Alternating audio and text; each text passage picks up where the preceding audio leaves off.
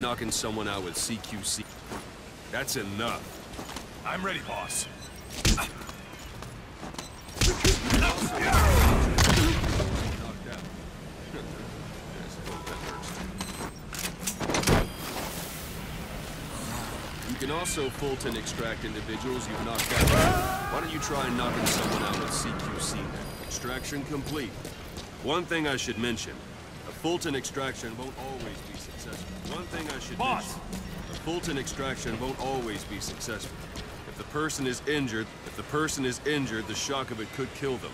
And if the weather's unfavorable, well, it could it. If the person is injured, the shock of it could kill them. And if the weather's unfavorable, well, it could it. If the person is injured, the shock of it could kill them. And if the weather's unfavorable, well, it could it. If the person is injured, the shock of it could kill them. And if the weather's unfavorable, well, it could it. If the person is injured, the shock of it could kill them. And if the weather's unfavorable, well, it could it. If the person is injured, the shock of it could kill them. And if the weather's unfavorable, well, this isn't the time. If the person is injured, the shock of it could kill them. And if the weather's unfavorable, well, could end up going missing. You can determine the chance of success by approaching the person you want to extract.